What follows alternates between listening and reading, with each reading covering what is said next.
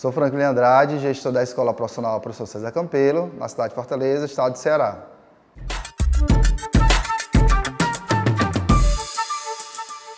Um dos principais problemas que a escola enfrentava era a deficiência na matemática dos alunos. A gente conseguiu identificar através de indicadores da escola, certo? E que possibilitou a gente a traçar estratégias, metodologias a partir do estudo de caso, do problema identificado.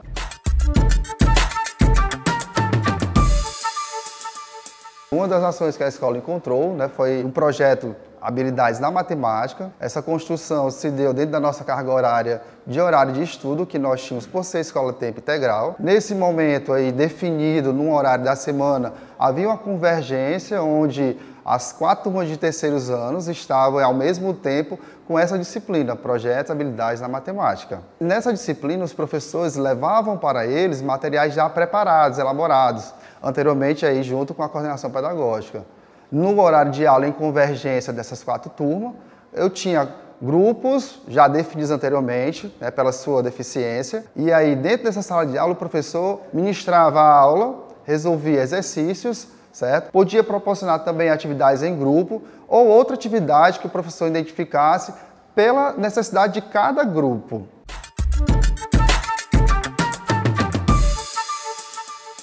A escola teve um avanço significativo dentro dessa escala do SPAES, certo? que é a avaliação externa do Estado, onde a gente teve aí dentro do nível crítico uma diminuição de 39% para 23% aproximadamente, um avanço da aprendizagem dos alunos e esse avanço foi um reflexo muito positivo, porque possibilitou um crescimento de 8% em relação à nossa proficiência do ano anterior que nós tínhamos. Como gestor, isso é muito gratificante porque a gente vê né, que através do número existe uma pessoa e que essa pessoa teve um crescimento na sua aprendizagem.